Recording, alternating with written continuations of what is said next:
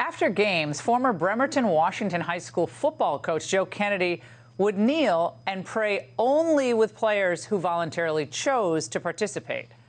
Well, when the district set new guidelines in response to this heresy, Kennedy ended his group prayers but still engaged in post game prayers just by himself. Well, the district didn't like that either, so they put him on leave and they won't allow him to coach. The First Liberty Institute filed suit on his behalf some six years ago, and in January of this year, the Supreme Court finally decided to take up the case.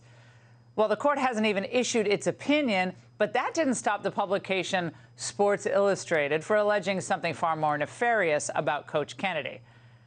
He's a human embodiment of a country that's deeply divided, a religious movement that's surging with momentum, even as organized religion becomes increasingly unpopular.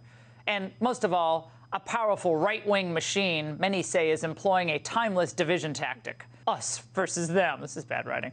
This logic twisting makes the argument zero sum and assumes that Christian nationalists have lost their rights, all to maintain a culture war strategy that hinges on a gross oversimplification of stakes. Joining me now, former high school football coach Joe Kennedy, as well as his attorney Kelly Shackelford, CEO of First Liberty Institute. Uh, Joe, that's a mouthful. Um, not particularly, not particularly good writing, but there you have it. That that prayer, even just praying by yourself, it's such a threat to them. Why?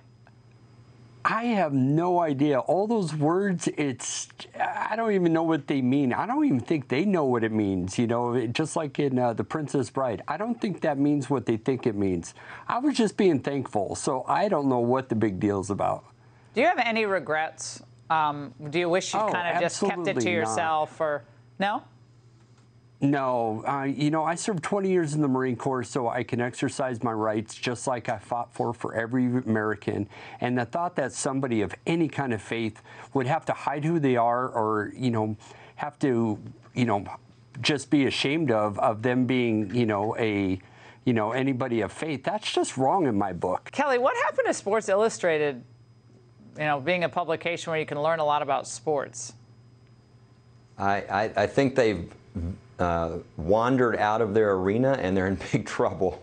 Uh, saying that this would be a, a threat to democracy. Uh, as you and I know, uh, Laura, this isn't a democracy, it's a constitutional republic. And we actually value uh, free speech and the free exercise of religion, which is the rights at jeopardy here for Coach Kennedy. So it's bizarre. And I would tell people, in case they wonder, you know, have any questions about Coach, uh, you know, we've got the facts. You can listen to the oral argument. We've got it taped. You can listen to the oral argument at the Supreme Court. People can just go to firstliberty.org. Listen for yourself. I think they'll all back Coach Kennedy, as most of the country is, which is why the reaction well, to this was yeah. something I've never seen before.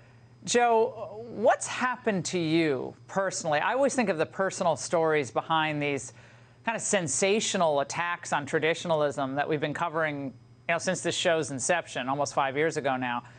What's happened to you as a man, as a coach, as a, as a professional, has inspired so many young men over the years? Yeah, you know, it, it's so difficult to actually put it into words. You know, you have something that you love deeply, and, you know, coaching is something that I mean, I never knew how much those young men would ever mean to me. And then it all of a sudden gets taken away from you. So life becomes just a big old mess. And not to mention that my wife actually worked for the school district. So you can imagine that uh, the HR department was uh, up to their eyeballs with uh, Coach Kennedy. I, I, it's just been a mess. And I'm just really looking forward to the, co- uh, the courts actually just, you know, ruling on the facts of the case. Yeah, setting setting things straight. And Kelly, I mean, it seems to me that Joe has been damaged by this. I mean, without a doubt. Um, will he get any monetary satisfaction by the time this is all wrapped up? Well, Laura, he, he didn't want to ask for any money. He didn't want anybody to ever complain or that. say that this was about money. So he didn't seek monetary damages.